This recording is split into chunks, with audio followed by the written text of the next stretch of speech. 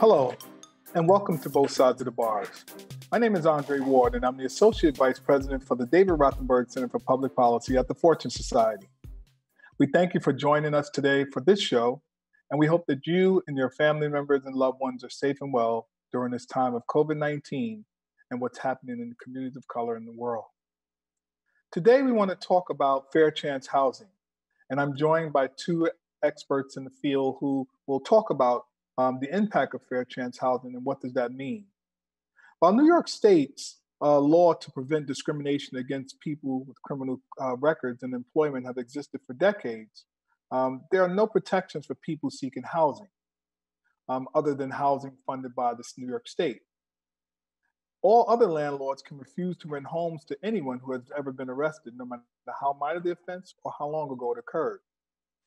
With at least 50% of those released from incarceration ending up in shelters, coupled with the COVID 19 pandemic, it is important, um, more important than ever, to offer them supportive permanent housing.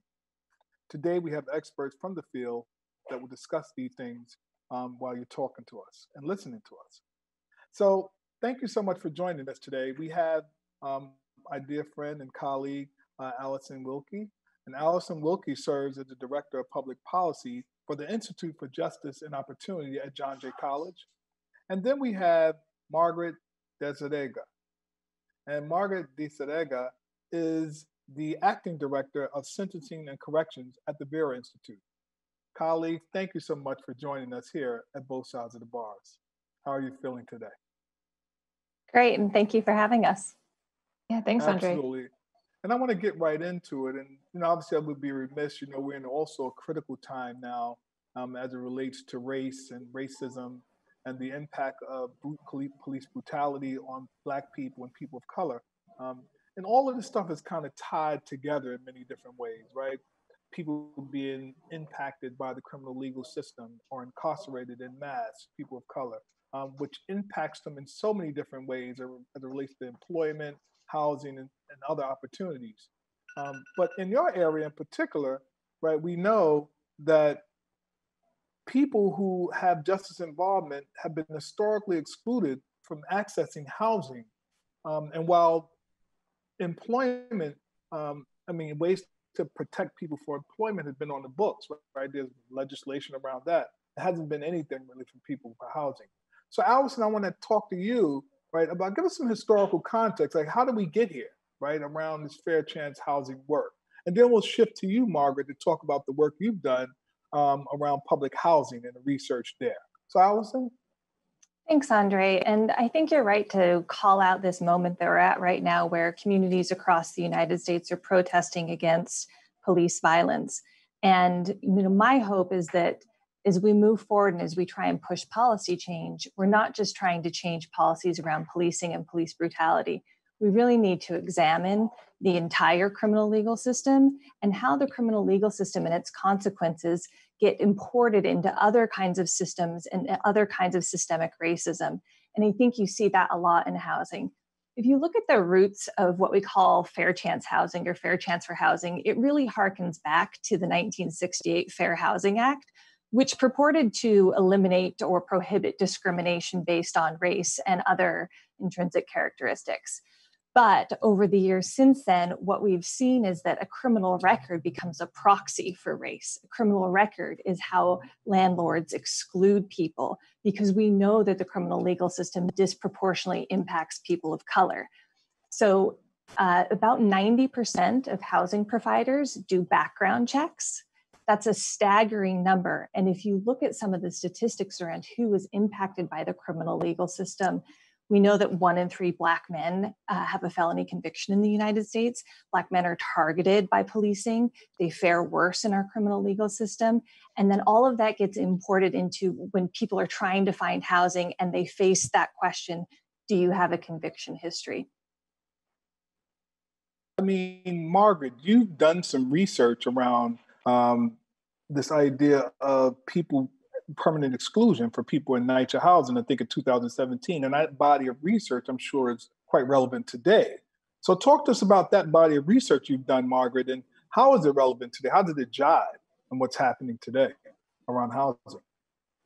Sure. So, I think what we see, what we see is that you know in our sort of tough on America's tough on crime era, um, policies were put in place to encourage public housing authorities, in particular, to you know quote unquote clean up the developments, and I think there were there was some amount of perhaps legitimate attention to wanting to improve safety for all residents living in public housing nationwide, but like a lot of criminal justice policies, it went too far.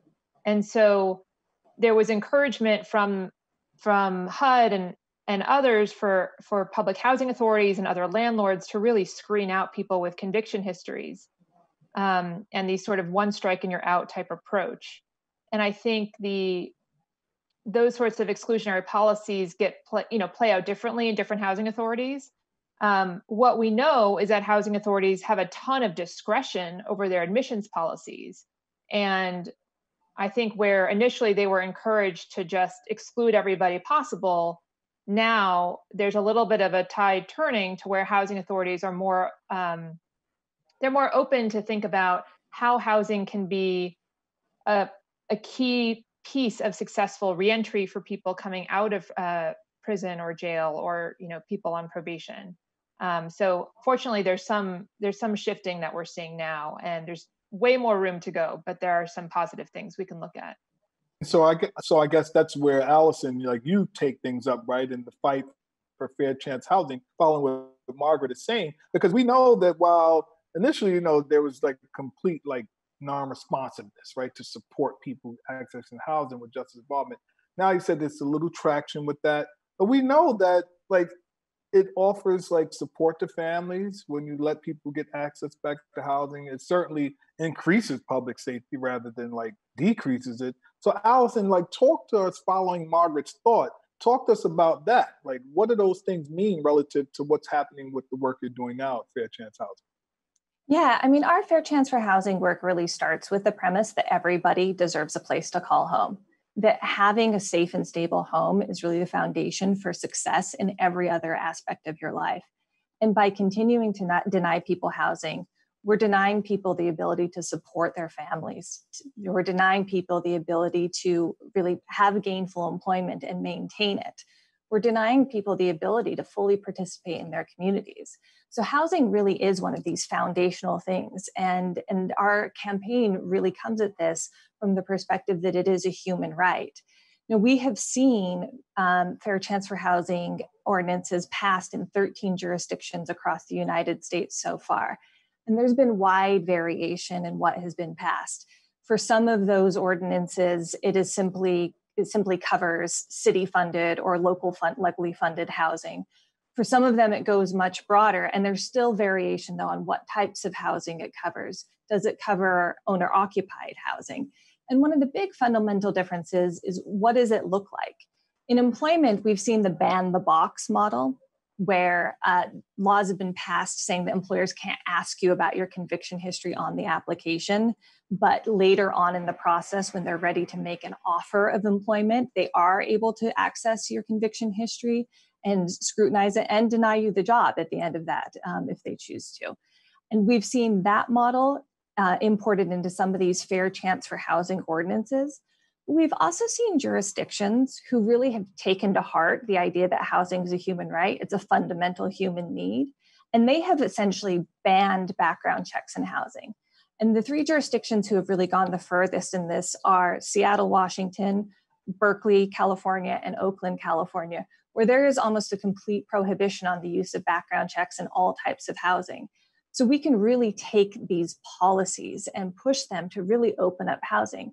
And I think it is important to note that Fair Chance for Housing expands access to housing. It is not the one be all end all solution for housing for people who are exiting jails and prisons or people who've been in, in the criminal justice system. There is still a need to build different types of housing, to have supportive housing, to have housing that addresses people per, people's particular needs. But it's a fairly quick way to expand access to housing because it doesn't require you to build new housing. It doesn't require you to convert housing. It really just expands what is already available and opens up that pool available of available housing. There is some research in New York that showed that having a conviction history reduces the likelihood that a landlord will allow you to even view an apartment by 50%. So these are real, and our campaign members face this discrimination every day. They're trying to find housing, they're trying to find stability in their lives. They apply for housing and they are denied because of a criminal record. So in New York City, we are really trying to push a comprehensive law that eliminates background checks. And Margaret, you know, I know in the body of research you've done, right, this idea of taxpayers' money, there's savings in that way, right? You don't have to, to Alison's point, you don't have to construct and build new housing right? You're allowing people to enter into existing housing with family or just other housing. Talked about like some of your research around like the savings piece to that and other related like comments on that. Sure. So absolutely we know that, you know, the majority of people leaving prisons and jails have family or some other kind of social support that wants to welcome them back home. And um, you know, when I think about this particular issue of family reunification, you know, however one defines family, um, there's a there's a family from NYCHA Housing that I I always think of because there was a, a mom and three children were in the NYCHA apartment. The the dad was coming out of prison, and in order for the family to maintain their housing, they were renting a room for him elsewhere in the city now, that money that they were using to give him housing elsewhere could surely have been put to better purpose. Um, but they, you know, they wanted to follow the, the rules. They wanted to keep the family's housing secure and in NYCHA. And so, fortunately, NYCHA created a family reentry program uh, that we and Corporation for Supportive Housing, Fortune Society, and a bunch of other uh, partners in New York City came came up with together and so he was able to apply for this family reentry program and move back in with his family. They didn't have to rent that extra room. And then eventually he was able to get on the lease and he become, you know, they they are like any other NYCHA family where his income, because his, you know, he was progressing through his job, his income is now factored into the family's rent calculation. Um, he is officially on the lease. So all of those sorts of things are secure. And I think the um, when we work with public housing authorities around the country, there's a real willingness to think about family reunification in this way because they are all they are all dealing with the lack of affordable housing in their communities, the high demand, particularly um, for people with lower incomes, and you know compounding that with the discrimination folks face in the in the rental market. Um, it just makes sense that if people can come home with family that's already in public housing uh, that and the family wants to welcome them back that they should be able to do that. And they should have a pathway to being on the lease. Um, so so that is an area where we're seeing a lot of interest from other housing authorities. I think the reentry service community um, has certainly been promoting that for a long time. And it's just about sort of bringing those partners to the table helping them understand what one another kind of brings to the equation and, and developing these programs together and then one really critical piece is making sure the word gets out to folks. So once these programs are created, um, you know, the service providers in particular are working with their clients and trying to overcome like years of distrust with the housing authority and knowing that there were one strike policies and all those sorts of things. So how can providers and, and other community members help get the word out that these programs are real opportunities for people to join their household, get on the lease, and not have to live in the shadows and, and fear eviction. Can I can I interject real quick because I sure. think Margaret raises a really good point and a really good lens that we both bring to our work. That this is about families; it's not just about individuals that this impacts entire families. And so the work that Margaret is doing is so important in allowing people to return home to their families. And the work that we do, we also think about how that when someone is applying for housing, it's often not just on their own behalf, it's on behalf of their whole family. And if you have, if you, as the person applying for housing, or if you have a family member who has a conviction history, it is the entire family that is excluded from housing. So this impacts children, this impacts spouses, this impacts generations. And I think that's just an, a really important element and lens that we all keep in mind here. This is not just about individuals and individuals being punished. We're punishing families by not allowing people access to housing.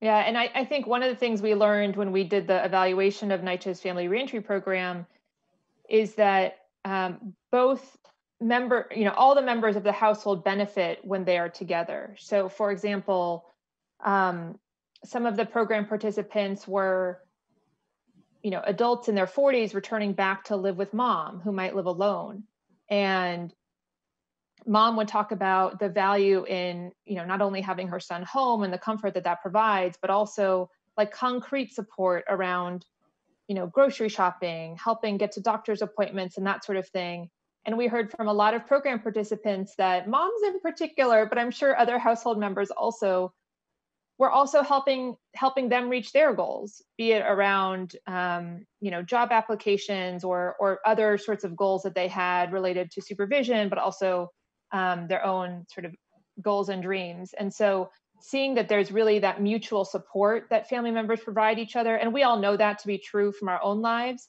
but um, i think lifting up those examples for the housing authorities and others who are considering these kinds of changes has been really helpful now, all of what each of you just raised like makes perfect sense, right?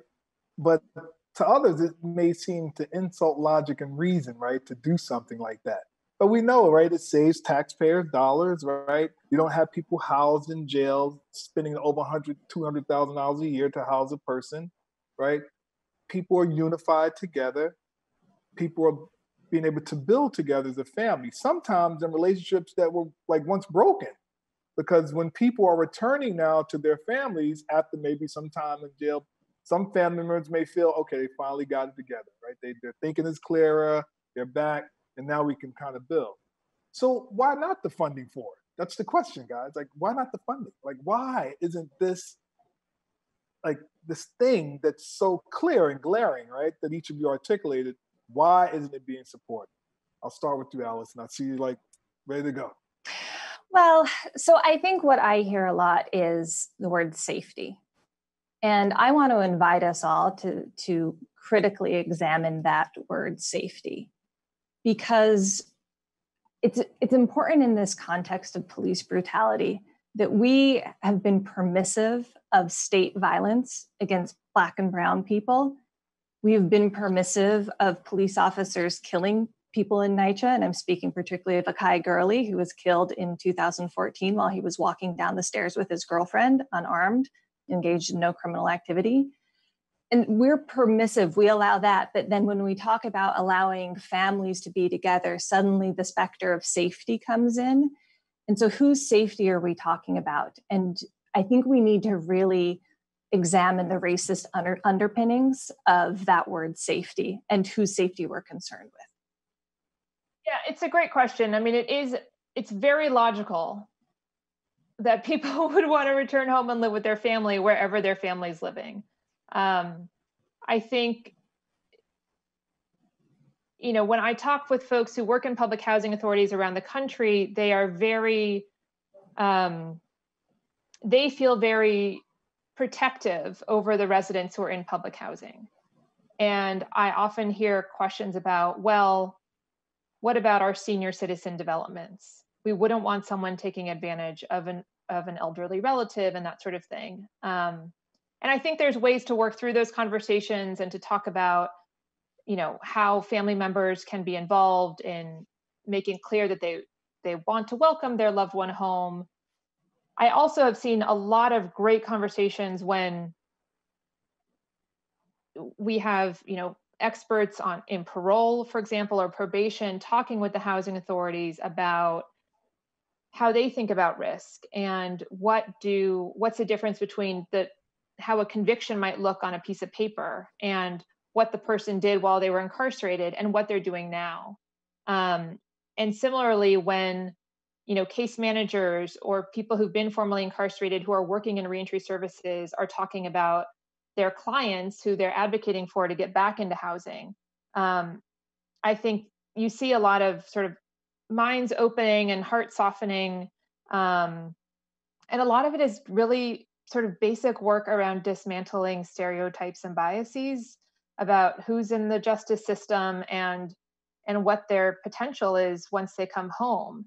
Um, and so I think the more kind of uh, face-to-face interactions people can have, of course, uh, feels ironic to say that right now when none of us are having face-to-face interactions. But the more we can put people, you know, in proximity to one another and try to break down some of those barriers, I think that really has helped open up conversations about why supporting reentry housing is so important. Um, and you know, there was a housing authority director I spoke with in Ohio who had read the new Jim Crow, and this was maybe five, six years ago. And it really was like a light bulb went off for her. And she had mm. every member of the housing authority board read it. And they had conversations about it, and they're now thinking of, and then they created a reentry program as a result.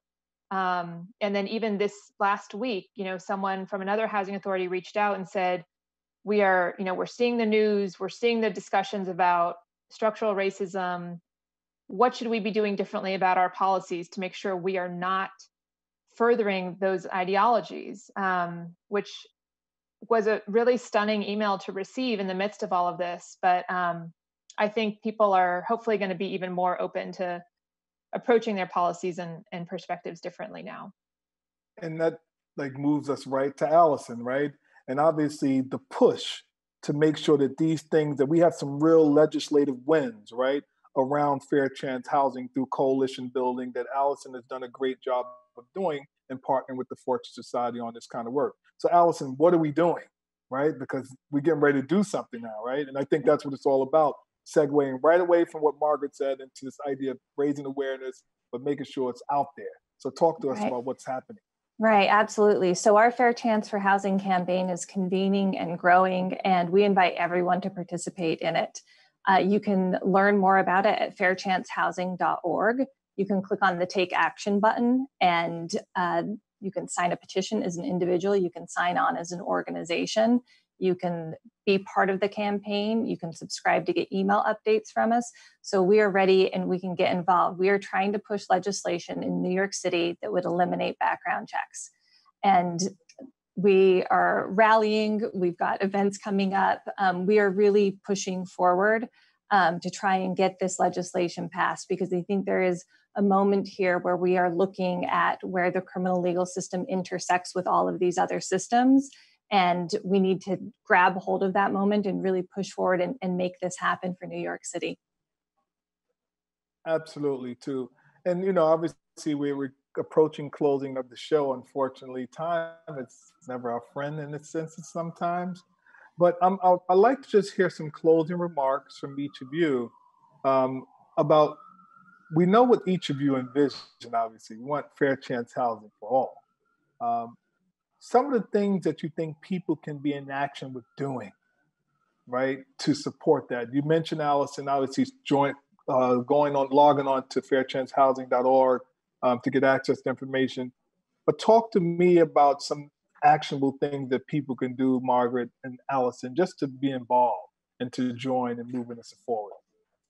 Yeah, so um, I'll start. Um, I think I think what Margaret raised before is actually really important about what people can do in their everyday lives, which is about breaking down stereotypes and having conversations with people and putting a human face on who is in our criminal justice system.